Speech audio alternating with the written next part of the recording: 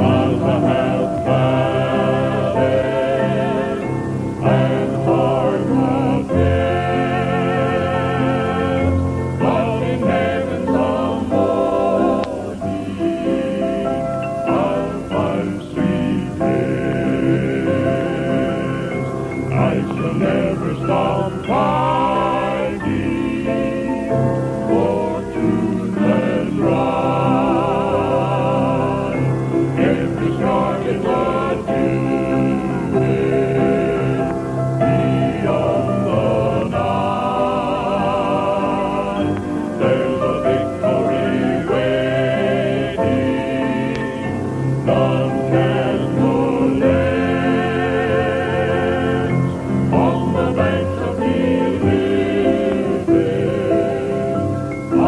lives we live.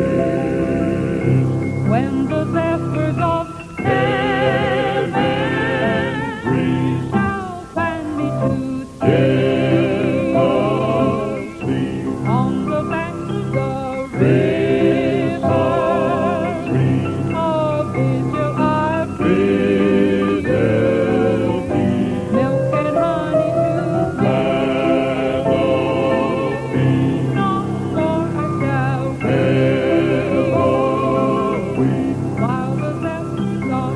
Heaven's